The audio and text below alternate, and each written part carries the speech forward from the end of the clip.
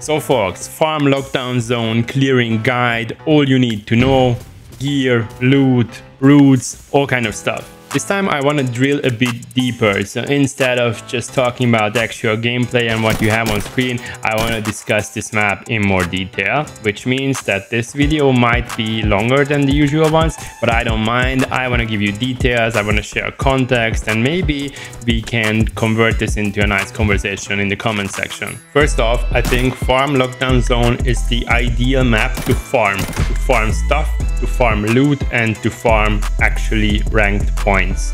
And let me tell you why. Looking at the maps individually, so Armory is tough.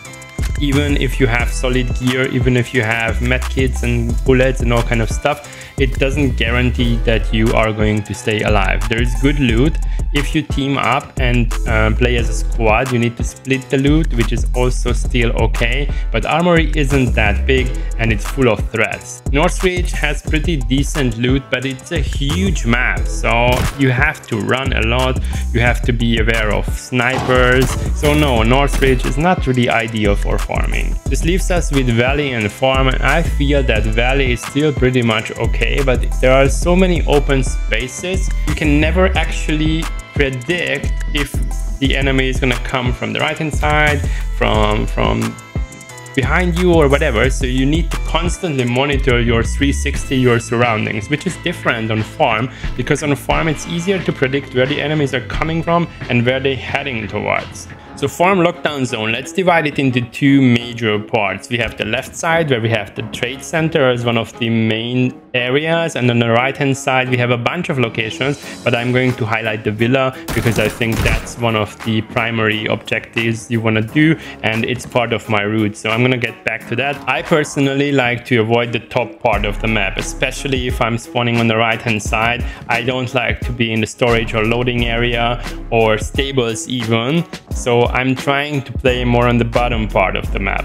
If I spawn on the left hand side, then there are two choices. You can decide to go into the trade center and then from the trade center you have actually two options. You can go to stables or try to go into the motel. My default route is going into the trade center and opening the safe, which brings me to the keys. So I usually play with three keys on the farm map. The one for the trade center, the one for motel, room 201, and then the villa key. If you have the main guest room from the hotel, you are lucky, but that key is worth a fortune. It's like 1 million coin. I never found it and I never purchased it. Obviously, if you have that, even better. After clearing the trade center, if I do it, because if I feel it's super dangerous, I just skip it. It's not worth sacrificing yourself for that one single save. So if there's a lot of action going on on the trade center, then I run straight to the motel. And just a side note here, I understand understand why we have the dangerous areas split like we have them now. So motel and stables to have them both in the center,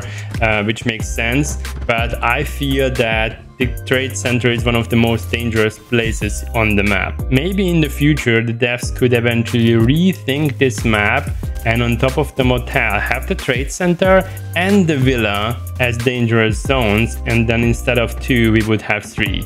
The reason why I'm saying that is because I truly think there is no reason to go to stables. I mean, there's a free safe, yes. There's the warehouse uh, above or next to the stables but that key i never purchased that. I think it's just not worth purchasing it. So it's unnecessary risk going to stables. Circling back, so if I'm done with the trade center or if I decide to skip it, I go to the motel, which is kind of the primary focus of the farm lockdown, obviously, because we have the free save, we have the room 201, and on top, that's the area where most likely you're gonna face most of enemy players, and then you kill them and then you take their loot easy, right? The thinking is that after you are done with the motel, you're just gonna easily extract at extraction point number two, where you gotta pay 6000 coin and you're out. It's an easy and secure way to get out of the map. And yes, I died once at 1.3 seconds, which I will never forget,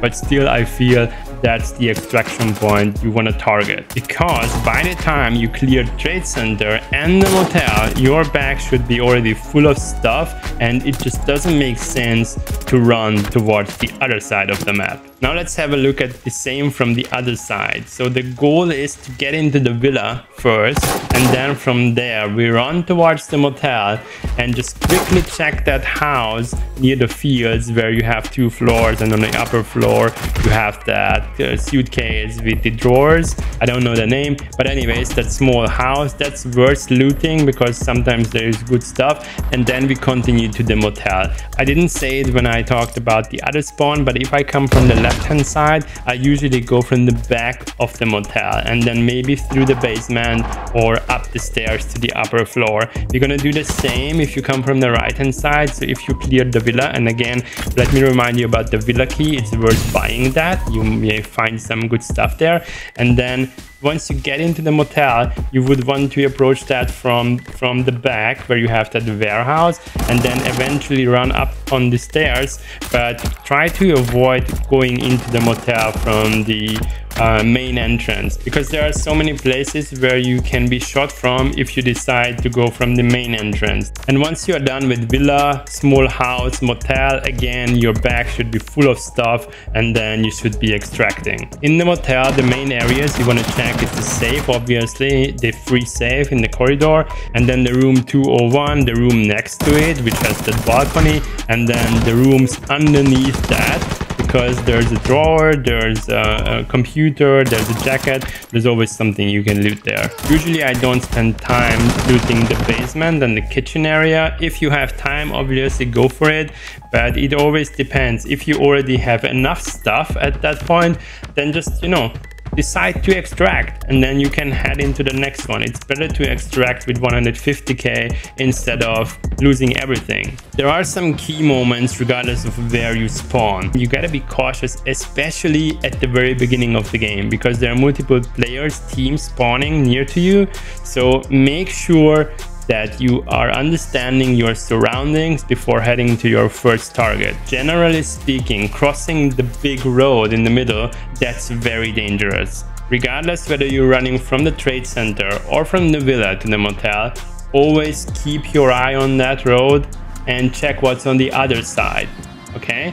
because if you're on this side of the road it doesn't necessarily mean that they don't see you and you can become a really easy target. They just sneak behind you and when you slow down near to the hotel they're gonna attack you from behind. So always check if there are enemies on the other side of the road even if you are not planning to attack them.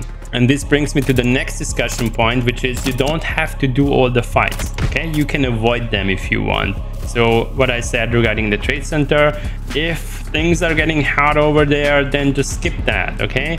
If you are seeing a bunch of shooting near the uh, field or loading area, then try to play it slow. You don't need to get involved, except if you are farming rank points. In that case, obviously try to keep yourself near the danger, near the danger zones and the fights. But the point I want to make regarding fights is that you're gonna face the farm boss in most cases, in many cases, and you don't need to fight them because he's having very very tough guards and you're just gonna spend your ammunition you're just gonna spend your med kits you are putting yourself into unnecessary danger. If you keep them alive uh, they can actually help you revealing other players. So if you hear that they are getting into a fight then you know obviously another player is around or another team is around which is going to give you an advantage. You're going to know where they are. And again you can decide whether you want to fight them or just avoid them. The minimum requirements on this map is 30k but i wouldn't go that down. I think you at least need a t4 armor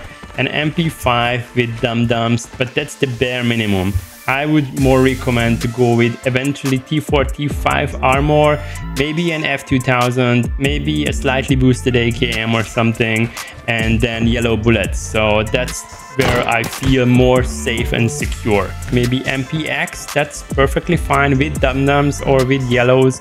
And then like a mid-sized rig, maybe the wrap simple and the mid-sized bag. So I'm not risking more than 80k or 100k plus the, the bullets. So I think the average for me is between 80k and 150k at max. This gear should be perfectly enough to fight this map and to bring out 200k, 300k, 500k, or whatever k. And don't get me wrong, I don't want you to have the assumption that I'm extracting in every single game or that I'm winning every single gunfight. No, that's not true. That's not true at all. And I'm not shy to share the bad moments. But if you extract with 500,000 coins and then in the next one you die and then eventually die again and you lose like two times 150,000, then you are still on the positive side of things. My extraction rate would be more high if I would just play simple farm. I don't really care about the extraction percentage and you shouldn't either.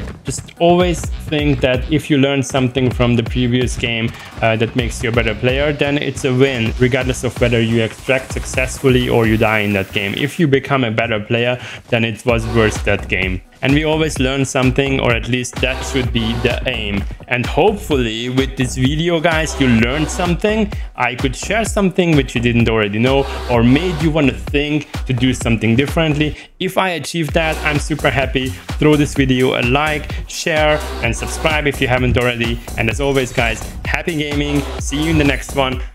Bye